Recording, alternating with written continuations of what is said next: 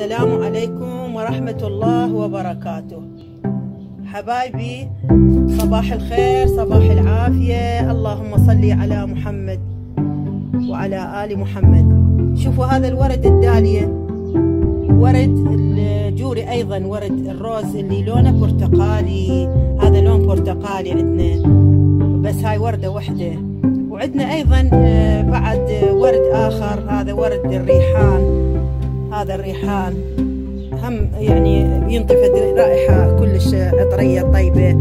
وبعد عندنا أيضا نبات آخر الورد ماله أبيض بس هو هذا الورد ماله الورق نفسه الورق يتحول إلى آه، لون الأبيض مخطط كلش حلو كلش جميل. وحبايبي إن شاء الله آه، أروح لكم على المطبخ. ولا تنسوني حبايبي باللايك والاشتراك. وإن شاء الله طبخة جديدة وفيديو جديد.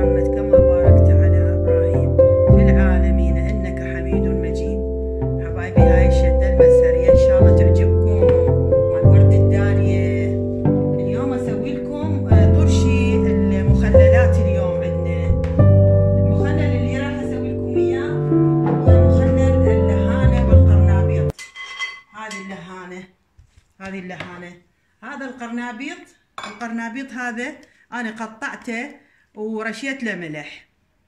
شوية على مود يذبل. بس خليت لكم فد نموذج هذه أريد أراويكم إياها.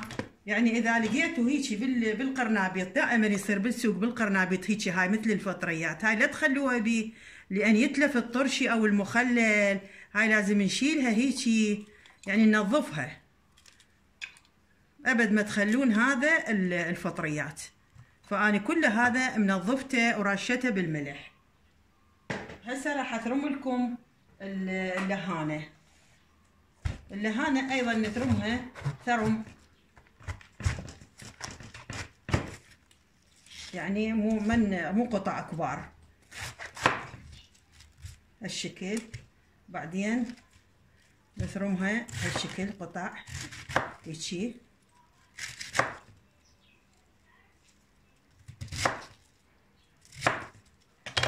هيجي ونفتحها هالشكل نخليها هنا. هيجي نفتحها. هيجي القطع. حبايبي شوفوا هيجي نفتحها. هالكبر القطع. هسه أكمل لكم الثرم ان شاء الله. أكمل لكم الثرم ان شاء الله وأرجع لكم. حبايبي هاي اللهانه ثرمتها. شوفوها شلون ثرمتها. وهذا القرنابيط. هذا القرنابيط. وهذه البهارات اللي بهارات اللي نخليها هي آه، بهارات الكاري والكركم وبهارات الطرشي. وفد فلفلاية إذا يعجبكم حار وفد كم فص ثوم هسه راح أصفص لكم إياها بال بالشيشة. هاي الشيشة أخلي هذا. شيشة طبعا غسلتها بالمي وملح. نصفط سراوات يعني هذا سري ونخلي بيناته بيناته حلقات الليمون. هذا حلقات الليمون نخلي بيناته. أشوفوا حلقات الليمون نخليها كم حلقة من الليمون؟ كم حلقة؟ هسه راح أخلي القرنابيط سأكمل لكم الشيشة إن شاء الله وأرجع لكم. وهسه حبايبي هذا صفته يعني طبقة لهانة وطبقة قرنابيط. وبيناتهم حلقات الليمون. هذا حلقات الليمون. وهسه خليت أيضا فلفل حار وخليت فد ثلاث فصوص من الثوم. هسه راح أخبط هذا الماء الملحي. هذا الماء الملحي لكل كوب آه، ملعقة من الملح هذا الصخري. ملح هذا الصخري. لكل كوب. أنا خابطته ومفورته وهسه دافي هذا المي. هسه راح أخبط بيه الكاري والكركم وبهارات الطرشي. هذا هذا حخبطه. شوفوا أخبطه. هذا كاري وكركم وبهارات الطرشي. والماء مملح. هو ليش هذا الطرشي كلش مفيد مال طرشي البيت؟ لأنه إحنا نسويه نشتا نحطه بالزجاجيات اولا. والنقطة الثانية نستخدم الملح الصخري. والنقطة الثالثة ما بي مواد حافظة. المواد الحافظة تقتل البكتيريا المفيدة. حبايبي أكو بكتيريا مفيدة هنا. تصير تحافظ على الأمعاء. تقتل البكتيريا الضارة اللي بالأمعاء. البكتيريا المفيدة كلش ضرورية. هسه أكمله إلى هنا أكمله بالماء الملحي. أكمله هنا بالماء الملحي وبعدين أضيف له الأشياء. وهسه حبايبي خليته شوفوا المي إلى هنا بعد ما خليت له البهارات وياه. وهسه راح أخلي له نص كوب من الليمون. هذا الليمون أنا عاصرته الليمون اللي حامض نص كوب. شوفوا هذا نص كوب من الليمون الحامض. وأخلي بعد هذا أيضا اللي فوق المحامض وأخلي خل. هسه الباقي خل أخليه. باقي خل نوصله إلى الأعلى. هذا خل أبيض أو أي خل عندك. فقلت لكم كلش مفيد الطرشي. لا تتصوروا يعني مالح ويأثر على بالضغط على بالعكس أصلا بفائدة كلش مهمة للجهاز الهضمي. يعني الجهاز الهضمي هذا نكمله هالشكل بالحامض نغطيه نغطيه بكل هاي الحامض يصير كلش طعمه طيب.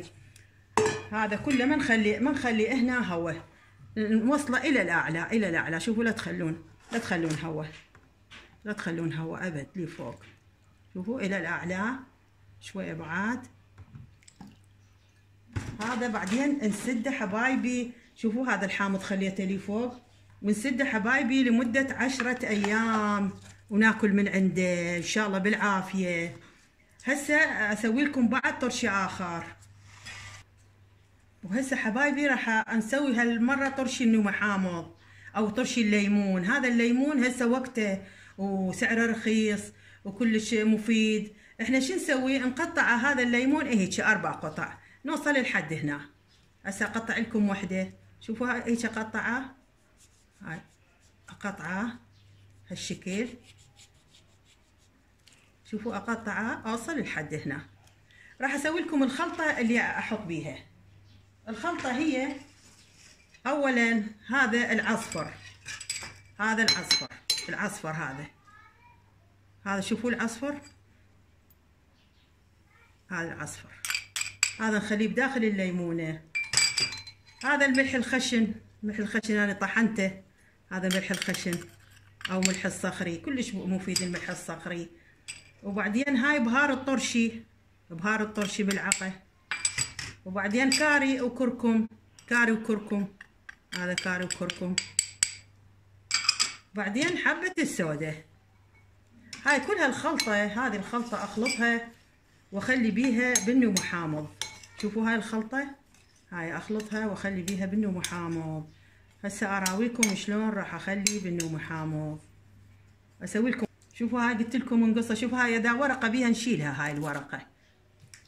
هسه نقصها هيجي نقصها دير بالكم واحد يقص إيده إذا السكينه حادة.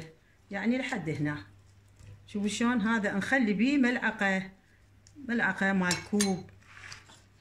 من هاي الخلطة مالتنا هاي ملعقة مال كوب ونحطه بالبرطمان هذا الزجاجي.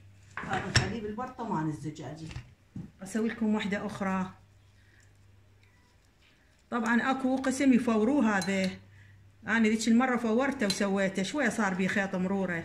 فهسه خليته ني يعني هذا يطول أكثر يطول أكثر من شهر. هسه أكملها إن شاء الله وأرجع لكم.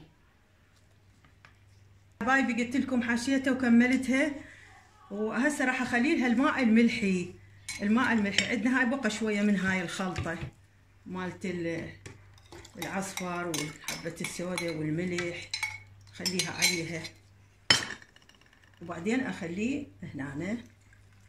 ماء ملح قلت لكم لكل كوب ملعقه تأكل ملح خشن. ها شوفوا. بعد شوية أكمله من هذا المي. هسه أخلي له هذا آه، فد هاي آه، فلفلة حارة أو اثنين بكيفك. ونخلي له هذا كم فص من الثوم. ونخلي حامض الليمون هذا العاصري إحنا حامض الليمون فد كوب. هذا كوب عصر عصرناه. ونخلي له الحامض الخل. هذا الخل. هذا الخل. هسه آخر شي شو نخلي؟ هاي القشور ماكو اللي عصرنا بيه الليمون. هاي القشور خليها لي فوق. على مود هي خاف يصير بيها أي شي. هسه أكمل لكم بعدين أكمل لكم. حبايبي قلت لكم خليت الماء الملحي وخليت الحامض الليمون وخليت الخل وخليت القشور آخر شي وهسه اخلي له خليه زيت بلا على زيت أي زيت عندي زيت الزيتون أو زيت الذرة. شوفوا هذا الزيت أخليه حتى يمنع الهواء من عنده. ونسده سدة محكمة وما نفتحها ورا شهر شهر ونشوفه. إذا ما لحق هم نخليه فد أسبوع يعني هذا يطول هذا يطول. ليش؟ لأنه إحنا ما مفوري. فأني قبل سويت طرشي هذا شوفوا اراويكم اياه هذا الطرشي أني مفورته هذا. هذا اني مفورته.